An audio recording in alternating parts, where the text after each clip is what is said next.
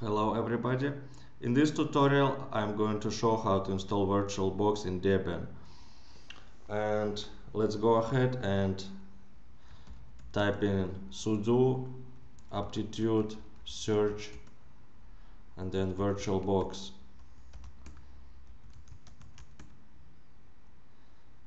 And here you can see we have VirtualBox in our repository and let me clear screen. We will also need uh, Linux headers. Uh, let's try to search Linux headers.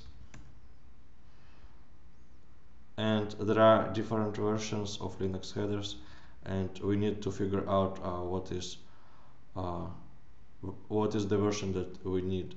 Uh, to do that uh, you can type in uname dash r oops small r and it is AMD64 that I have on my machine.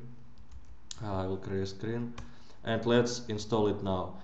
Uh, type in sudo aptitude install. And then Linux, uh, type in linux headers.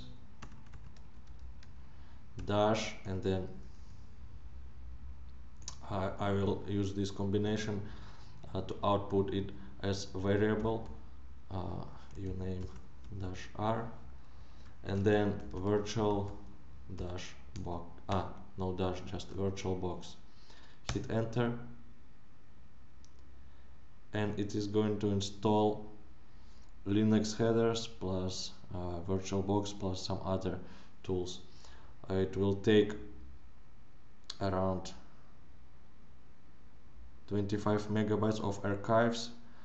I will click yes, I want to continue and I'll just pause my video to save time. I will get back soon.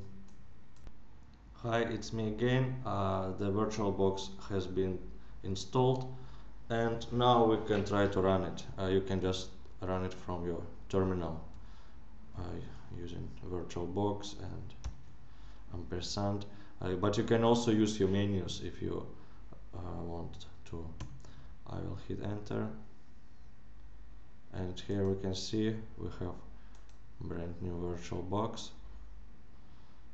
and in the next uh, tutorial I will show you how to install the operating system within your VirtualBox machine.